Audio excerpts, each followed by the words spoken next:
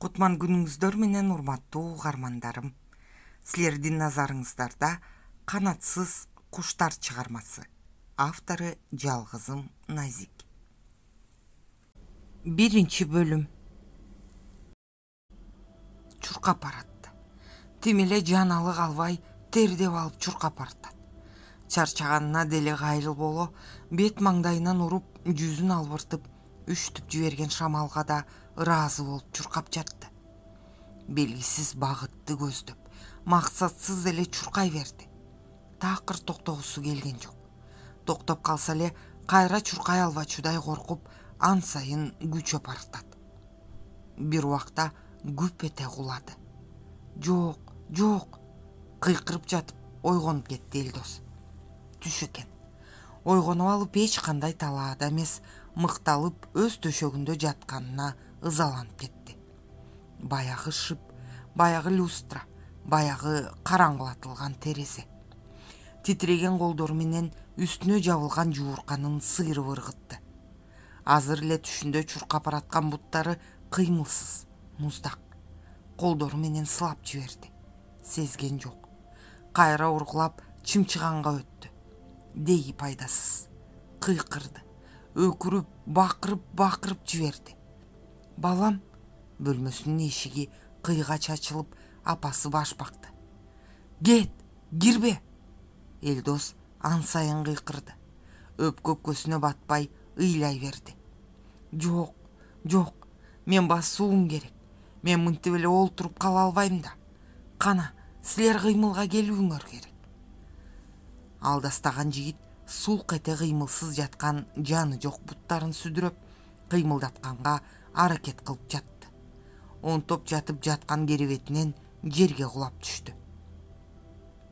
Апасы чуркап кирди да отура калып жыгылып жаткан уулунун башын тизесине койду. Сыягы жана кетип калганга түтпөй эшик артында тыңшап турган окшойт. Элдос уулум мени карачы балам алдында суналып жаткан уулун жаш жууган жүзүн колдору менен сылап жатып сүйлөдү апасы.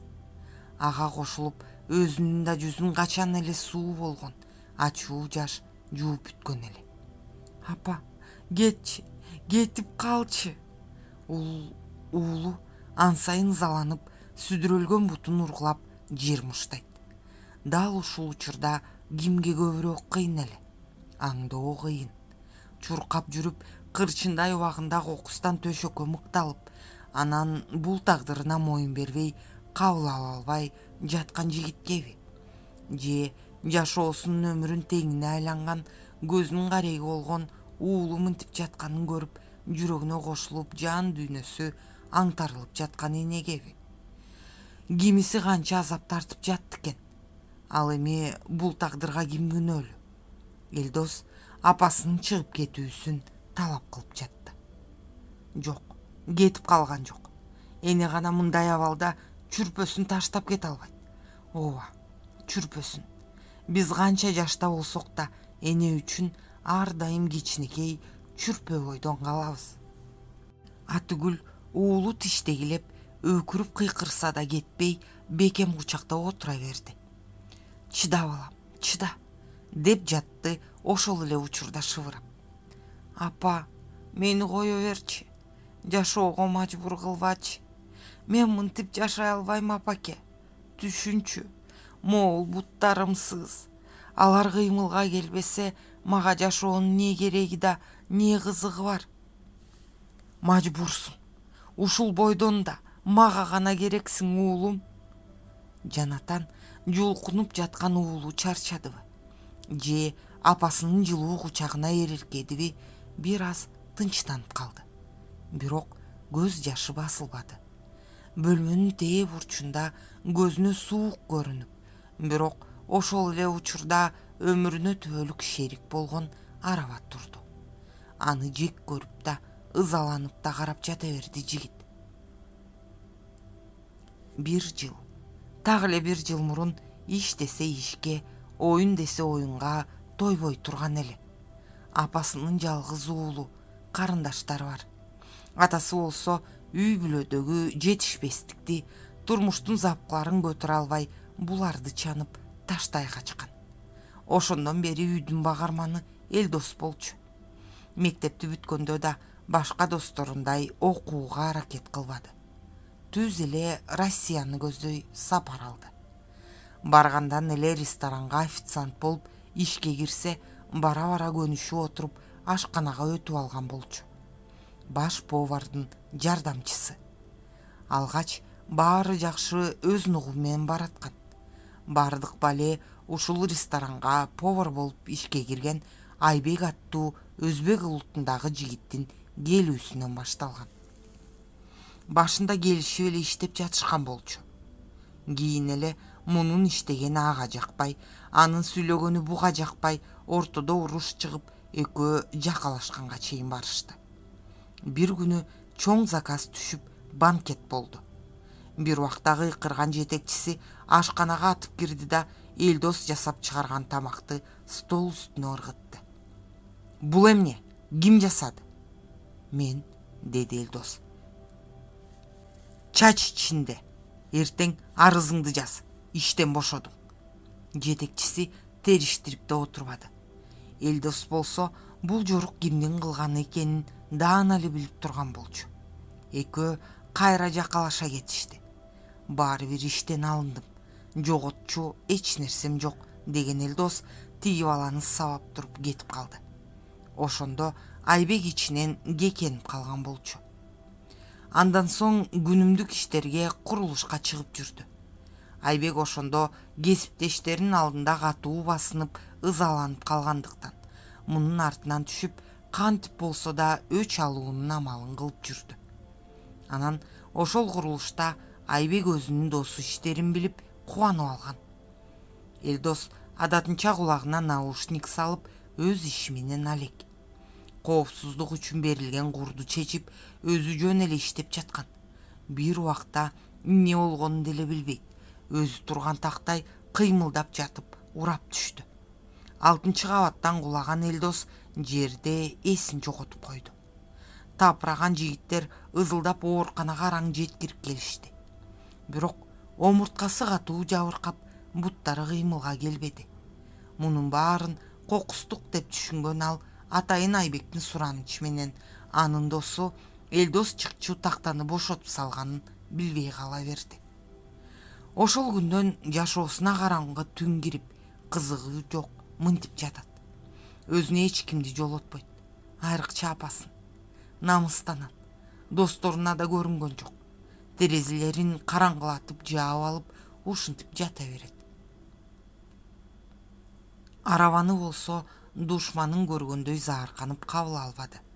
Буттары мындан ары кыймылга келбейт экенине ишенгиси келбей турду. Бул чындыктан качып кабыл албай жатты. Күндөрдүн биринде ошол түштөрүндө көрчү. Жомокторундагы керемет аткарылаарына ойгонсо эле буттары чымырап узак уйкуда жаткансып кыймылга келээрине ишенип гана жашай берди. Бир жыл бир жыл ушинтип күрөшүп жашады жигит. Башына түшкөн тагдыр менен келише албай алыша берди качанга чейин мен кул болом силерге. Эмнен кул болуп жатат. Каалагандай эле жашап жүрөсүң го. Тиги майып карындашыңдын түйшүгү менде. Жашмын мен. Аны карайм деп көчөгө да чыга албайм. Көтөрүп жүрүп жаш туруп белим ийилгени калды. Акырынчы эмне кыйкырасың? Укса көңүлү ооруп калбайбы? Э укса уксунчу көңүл силерде гана бар. Менин көңүлүм көчөдө калган деген жеңесинин ачуу үнү жаз айым канчалык кулагын жаап алса да угулуп жатты. Төшөгүнө оролуп жатып кулактарын бекем жаап жаткан кыздын көздөрүнөн тамчылар кулады. Күн сайын байкеси менен жеңесинин бул сыяктуу урушунан тажап кетти. Анан калса ал уруш өзүнүн айынан болуп жатканы кыздын жүрөгүн ан сайын оорутуп жатты.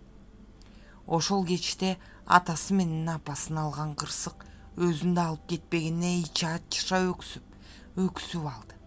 Жанын калтырганы аз келгенсип мынтип буттары жок калганычы. Кесилген буттарынын орду түн жарымда ушунчалык сыздатып оорутчу тиштенип атып ооруну калтыратчу дары ичип араң жаны калат. А бирок көңүлү оорусучу таза али кирдей элек бала дилин майдалап туураган мындай ачуу сөздөрдүн дабасын қайдан табады? Жаскоу деген байкесі есігін тақылдатты. Көздерін шашыла арчып чачтарын артқа қыла башын көтерді қыз. О байке кіріңіз қандайсың шіренім? деген байкесі ақырын жанына келіп чачтарынан сылады. Жақшы жақшымын. Чарчабай келдіңіз бе сіз? Жазайым байкесінің мейіріміне еркеп көзінен тамған жашын кармап кала албады. Жазым менин байчечекейим байкеси жанына отуруп бооруна басты. Өпкө кага ыйлап жатты кыз. Капа болбо жеңеңе мен сүйлөшүп коем байкесинин да жүрөгү ачышып жатканы ыйлап жатканы дирилдеп чыккан үнүнөн жазайым кучактап турган далысынын солкулдап атканынан билинди. Капа болгон жокмун байке мени кечиргиле силерге жүк болуп жеңеме катуу айтпаңыз суранам. Жазайым жалынып байкесинин көздөрүнө карады. Макул сөз бериңиз. Эмне деп? Жеңеме катуу сүйлөбөйм деп. Жеңеңе катуу сүйлөбөйм деди эрнис даргасыз карындашы жылмайды. Бажырайган гүлдөй кыздын көздөрүнөн өбүп алды байкеси. Карачы сага эмне алып келдим ии эмне? Толо боектор кудум сен каалагандай. Аи байке рахмат сизге. Кубанган кыз ан сайын эрнистин мойнуна асыла кучактап жүзүнөн өбүп өбүп алды. Сен күлсөң эле болду. Эрнис карындашынын көздөрүндөгү кубанычты көрүп аялына болгон бүт жини таарынычы таркап кеткендей.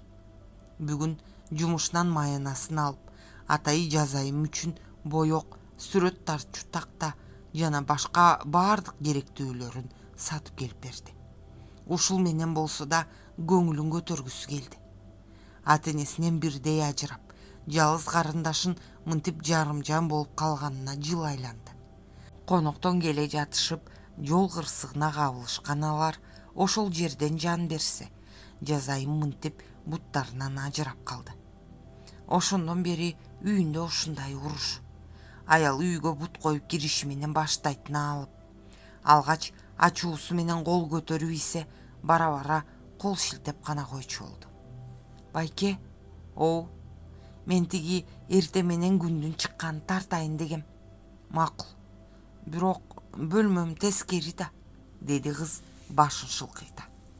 Таң атканда сени көтөрүп алып чыгабыз. Мен жок болсом жеңең.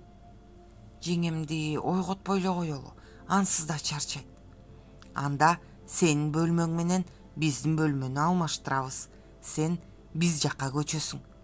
Чын элеби деди кыздын көздөрү жайнап. Чын эме эмне? Жеңем эмне дээр экен? Деди кайра жазайым акырын көндүрөм. Эрнис карындашынын маңдайынан сүйдү бирок ичинде дагы аялынын заар сөздөрдү агытып сүйлөп ыйлактап жаңжал чыгарышын ойлоп ичиркенип алды. Албетте ага катуу сүйлөп ордуна коюп койсо болот. Бирок анын күчүн мына кыздан чыгарабы деп кооптонот. Өзү болсо кечке жумушта талаалап жазайымды аялы карап калат да.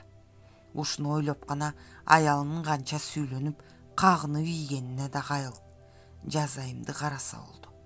Бул дүйнөдө ата энеңден кийин эле сага боор тартып жүгүңдү кошо көтөрүшүп көзүңдөгү жашыңды сүрткөн бир тууганың болот экен. Жазайым жаратканга. Ата энесине ушундай байкени берип койгонуна ыраазы болуп кетти. Эми ушуну өттү жөн жата бербей бөлмө алмашам деп. Жамал эмне жамал? Деги сүйлөтөсүңбү мени эмне болот экен? Ал бөлмөсүндө жата берсе. Жалгыз башына бул чоң бөлмөнү эмне кылат дейм да? Эмне эле мынча ал кызга жармаштың? Сеникиндей болуп алты сана аман болгондо. Ушул сага жалдырабай качан эле өз күнүн көрүп кетмек? Деги эле мунун кыйынын. Жамал эрнис күткөндөй эле жаңжалдын чоңун чыгарып алды кетем деп коркутуп жатып анан бөлмөсүн бошотту аппак болуп булуттардын жылуу койнунан тургусу келбей эркелеп жаткан кыздай назданып күн башын көтөрүп келе жатты. Терезени чоң ачып чыйрыгып атканына кайыл боло жүзүн муздак айдарым желге тоскон жазайым жылмайды. Бах жаз дегениң кандай керемет мезгил. Таң заардан мынтип таза соккон шамал ар түркүн гүлдөрдүн жыты жашагыңды келтирип делебеңди козгойт бекеринен жаз тирүүлүк жарчысы дешпеген чыгар. Эх кана эле буттары болгондо мынтип терезеге гана кадалып суктанбай жылдагыдай чуркап кетмек беле. Байчичкей терип келмек да адырларга чуркамак кыйкырмак. Жазайым мостое түштү. Жоон санынан ылдый кесилген буттарын кармалап алды. Туулган күнүң менен капыстан эшик ачыла курбу кыздар менен байкеси байкесинин жаш балдары жеңеси кирип келишти. Он сегиз жаш кут болсун жазым деди байкеси алгач келип адатынча маңдайынан жылуу сүйүп. Андан ары жеңеси жас алма күлүп куттуктады. Курбулары. Жазайымдын көңүлү көтөрүлө кубанып алды. Таң заардан баарын мынтип чогултуп атайын карындашынын көңүлүн көтөрүү үчүн кылган аракети эле эрнисттин анткени жылда атасы менен апасы мына ушинтип куттукташчу. Ошол салтты бузбай алардын жоктугун сездирбей карындашын кубанткысы келди. Чоң залга дасторкон жазылып таттуулар коюлуптур жамалды дагы тултуңдатып өзү жардам бере коюп жасаган эле байкеси. Жаздын алгачкы айында төрөлгөнү үчүн ата энеси жетине албай жазайым деген ысым беришкен. Бул күн жазайымдын бактылуу күндөрүнүн тизмесине кошулду баары тарап өздөрү калган эле үйдө. Байкеси улам күлкүлүү нерселерди айтып күлдүрүп отурган. Бир убакта кыздын жүзү кызарып чыкты. Эмне болду? Жеңемди чакырыңызчы деди уялгандан байкесинин көзүн карай албай. Азыр азыр. Эрнис шашыла ордунан туруп ашкана тарапка жөнөдү. Жамал жамал дейм. Ой эмне жазайымга жардам берчи ажатканага тойдум ушул жашоодон. Бул жагымды эптей албай жатса эми мунусу деп кыйкырган жеңеси адатынча кыз отурган арабаны жулкунтуп сүйрөп жөнөдү. Жазайымдын жалдыраган көзүнө караган да жок балким бир эле тиктесе кыздайым ак анын үнсүз арманын түшүнмөк. Байкеси гана түйүлгөн муштун оозуна тиштеп карындашына жардам бере албай жатканына гүлдөй өмүрү ушинтип кетерине сызып үнсүз ыйлап жатты. Дагы дагы айтсаң азыр жаз мезгили гүлдөр ачылган сен жыттасаң гүлдөр сүрөттөп берчи. Гүлдөр деген назик болот. Ар кандай түстө. Чуркап ордунан турган кыз короодо өскөн розаны жулуп келди да заремага карматты. Мынакей акырын карма азыр дагы чуркап барып гүлдөп турган алчанын бутагын сындырып келди. Муну дагы кармасаң колуна аяр кармаган кыз этияттык менен колдору менен бутакты кармалады да мурдуна жакын алып келип искеп алды жыты укмуш да ооба деген айдана курбусуна боору ооруй түштү. Айдана дүйнө аябай кооз болсо керек э? Кооз. Эх кандай бактылуу экениңди билбейсиң да. Сен көрө аласың. Зарема сенин көздөрүң да укмуш сулуу көрбөгөндөн кийин деген кыз көңүлү чөгө акырын унчукту. Сенин эч кимде жок үнүң бар ырдасаң ушул үнүмө кошуп сен айткан сулуу көздөрдү дүйнөдөгү эң жагымсыз бирок көргөн көздөргө алмаштырмакмын. Зарема сен көрөсүң мен айтты дейсиң. Сен аябай дүйнөгө таанылган ырчы болосуң да анан көп акча таап ошол акчага көзүңө операция жасашат. Мен ырчы болуппу кайдан дейсиң балким бир оорукер адам сенин көздөрүңө операция жасаганга жардам берер айдана ооба үмүт зор менде билесиңби ишке ашпасын билсем деле үмүтүмдү үзбөймүн балким качандыр бир күндөрдөн бир күндөрүндө көздөрүм ачылса мына өзүм элестеткен дүйнөнүн чыныгы сулуулугун өз көздөрүм менен көрөрмүн албетте да эки кыз кыялдана отурушту аңгыча ары жактан зарема деген өгөй апасынын ачуу үнү экөөнү тең селт эттирди. Кайда жүрөт десең эми темселеп көрбөгөн көзү менен ушунча издетет артынан. Көзү көрсө тим эле таптырбай качмак экен. Апа мен бул жактамын зарема колуна узун таягын кармап бир колун алдыга созо эшик тарапка жөнөдү. Айдананын үйүндөмүн сага эмне дегем я?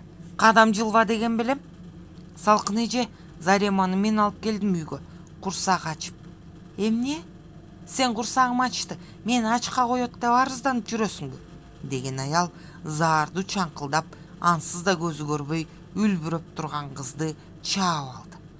Жок урбаңызчы зареманы мен жөн эле ай кыз өз кызым дейги өзүм билем жүрчү үйгө салкын кызды колдон сүйрөп дегдеңдетип жөнөп кетти. Зарема он алты жашта. Башка кыздардай күзгүгө каранып жашоонун таттуу убагын тарта турчу убагы.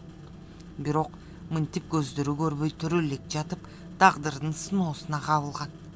Кичинесинде көзү бир аз боозгуч тартып көрчү кийин эле көрбөй калды.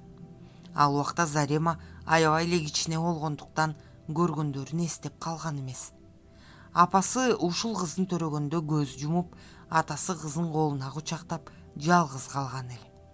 Бир жыл өзү жашады. Баары бир эркек эмеспи бала менен аябагандай эле кыйналды. Акыры туугандарынын кийлигишүүсү менен салкынга баш кошкон. Салкын эркинге турмушка чыкканда колунда өзүнүн кызы менен келген. Алгач экөөнү тыпыйта кийинтип эгиздей ээрчитип алып жүрчү. Кийин эле кайсы кара текеси үзгөнү белгисиз. Заремага атасы жокто кол көтөрчү болгон. Кыз төрт беш жашка барып калганда анын көздөрү көрбөсүн билишти. Анда да түз жолдон жыгылып алдынан чыккан нерселерди сүзүп эчен ирет бети башы көгөргөндө гана дарыгерге көтөрүп барышкан. Үмүт болгону менен өтө аз дешти. Көздү биз жөнөкөй адамдар түшүнбөгөн кандайдыр бир чел кабык тосуп калган. Аны чет мамлекетте чоң суммага операция жасашаарын айтышты. Күнүмдүк оокатын араң кылган автобус айдоочусун да мынча сумма кайдан дейсиң? Башын шылкыйта кызын бооруна басып келе берди. Акча топтоп албетте көзүнө операция жасатам деп жүрүп бир жыл мурун каза болуп калган атасы ошондон бери зарема салкындын колунда. Анын ачуу сөздөрүнө да кайыл боло жашап келе жатат. Кечээ да бир жерге тойго барам деп кызды жалгыз калтырып кеткен болчу. Салкындын жүрөгү ушундай таш беле же турмуштун ашууларында сууна тоңуп ташка айланганбы белгисиз. Зареманын бул сыяктуу калып кеткен күндөрү көп эле болгон. Карасаң таалайсыздын өңін демеле құдай сұлулықты аянбай берген. Салқын дірілдеп бұрышта тұрған зареманы қарап қызына сөйледі. Үнін айтсаң апа темеле бұлбұлдай таңшыт қытқылықтаған салқын менен қызы зареманы мынтип эрмектеп жатқаны бірінші жол емес. Сен жалғыз емессің. Ата көрдүңбү алардын жүзүндөгү кубанычты. Алардын бактылуу экенин көрүп эле менин өмүрүм узарып жашоомо маңыз кошулуп жаткандай. Селт эте чоочу бойгонгон сабыр дагы эле самолет жерге коно элек экенин байкады. Иллюминатордон аппак болуп каалгыган булуттарды тиктеп алып эмелки көргөн түшүн эстеди. Кызы ушул булуттардай аруу ушулардай таза эмес беле тилегичи. Эх кызым сенин тилектериңдей сенин максаттарыңдай бул дүйнө кең эмес бекен деди сабыр ичинен. Ноутбугун жандырып кызынын сүрөттөрүн көрүп жатты. Бала кезинен тарта өмүрүнүн акыркы күнүнө чейинки сүрөттөр. Мына акыркы сүрөт экен. Оору жанын кыйнап турса да күлүмсүрөп түшүптүр көмүрдөй капкара болгон чачтары химия ала берип түшүп кеткен эле. Алдырып салып өзү тигип алган шапка кийип отурат. Колдорунда өмүрүнүн жарымына айланган асма уколдор илинип көздөрүнүн алды карайып эриндери кургап соолуп бараткандагы кези абалы ушунчалык оор болуп турса да жылмайганын. Сабыр ноутбукту жаба салды да өзү да байкабаган абалда көзүнөн тамган тамчы жашын жеңи менен сүртө салды. Кызына ал кеткенден кийин ыйлабайм деп сөз берген. Бирок бирок кантип ыйлоо мүмкүн эмес. Ушундай кереметин жоготуп жатса. Дария кичинекейинин бир ордунда турбаган аябай шок кыз болгон. Мектепке барганда да эң жакшы окуп атасынын сыймыгы болду. Өмүр бою атасы экөө гана жашады апасы кызын таштай салып качкан. Сабыр кызды өзү чоңойтту кызына ушунчалык байланган экен жада калса башка аялга да үйлөнбөдү экөө эле бактылуу болчу. Бой жеткен кызы спорт менен да машыгып бийиримине катышып деги койчу колунан баары келчү. Баарына жетишчү. Окуп да иштеп да үйгө келип үйдүн ишин тамактарды түрлөп жасап гүлдөрдү түрүн өстүргөн. Шашып жашачу кызы. Ар бир күнү жада калса мүнөтү план менен кетчү. Көрсө өмүрүнүн аздыгын ошондо эле сезген окшойт. Жетишип калайын дегени го. Көргөн жанды суктанткан жакындан тааныган адамдарын тамшанткан кыз болгон. Сүйүүсүн да тапты. Мына жакында той дегени турганда ушул каргаша болуп кетпедиби чоң ресторанда кызга сөйкө салынып шаңдоо отурушкан. Дария жигитинин кучагында туруп эсин жоготту ызылдаган эл. Чакырылган тез жардамда эсин жоготуп жаткан кызынын колдорун өөп сабыр бара жатты. Текшерүү анализдер башталды. Дария эсине келери менен үйгө кетем деп туруп алган. Жок кармап калышты.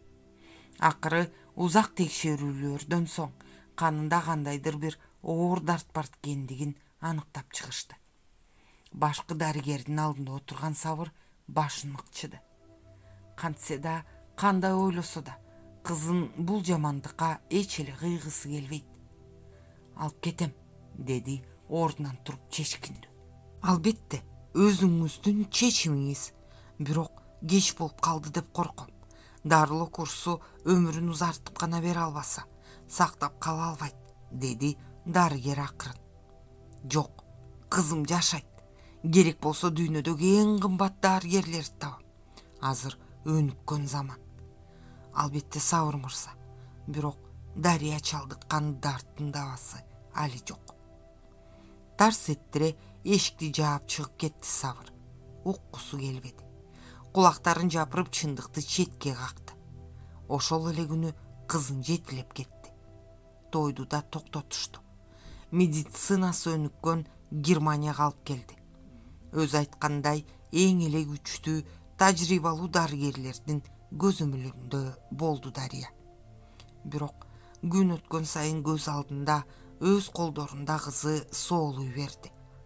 Көрсө эң бийик даражаң жыйнаган байлыгың ден соолуктун өмүрдүн алдында бир тыйынга да татыбайт тура пенденин миң чуркаганы кудайдын бир буйруганы деп бекер айтылбаган чыгар. Таасирдүү мансаптуу көптөргө жардам колун созгон сабыр жалгыз кызын ажалдан арачалап кала албады. Ошондо да дарыя үмүтүн үзбөдү. Азыр ойлосо атасы кызына эмес кызы атасына көбүрөөк дем берип жүрүптүр. Эсинде бир жолу абалы начарлап кеткен. Колдорун кармап өзүн жаштуу көздөр менен тиктеп отурган атасына алсыз жылмайган кыз. Атаке менин эле көзүмдү карап бекер кылгансың да үйлөнүп дагы балалуу болгонуңда мени жоготуп жатканың үчүн жаның мынчалык кыйналып көкүрөгүң ачышмак эмес. Эми деле кеч эмес үй бүлө күт ата мени кечирчи. Сенин үмүттөрүңдү актай албаганым үчүн небере жытын жыттатпай кеткеним үчүн. Сабыр үнсүз ыйлаган. Жүз баласы болсо деле ушул кызын жоготкондо кан жутаары белгилүү. Анткени дарыя башкача болчу. Өмүрүнүн аз калганын сезгенде дарыя өзүнө окшоп оор дартка чалдыккандар. Тубаса оорулуу адамдар менен маектешип чакан клуб түзүп аларды колдоого ала турган фонд түзүүгө жетишти фонд сен жалгыз эмессиң деп аталат. Биргеликте түрдүү даамдарды жасашат. Кол өнөрчүлүк кылышат ырдашат бактылуу болушат. Ата карачы адамдарга бакыт тартуулоо канчалык оңой. Биз куштар болсок канатыбыз кыркылды. Бирок биз жер менен басууну үйрөнөбүз. Биз жеңилбейбиз деген бир жолу. Сабыр самолет бишкекке конуп жатканда дагы бир жолу сыртты карап алды. Бул жака дарыяны алып кеткенден бери келе элек. Сагынганын туйду туулган жерин дарыянын ошол баштаган ишин өз мекенинде улантуу үчүн жолго чыккан. Бул жакта да ага окшогон дарыянын колдоосуна муктаж адамдар көп экенин билди. Траптан түшкөн сабыр аппак булуттары бар жаздын көк асманын тиктеп көпкө туруп анан арыгадай кадамын улады. Каналдын өсүшү үчүн подписаться баскычын басууну унутпаңыздар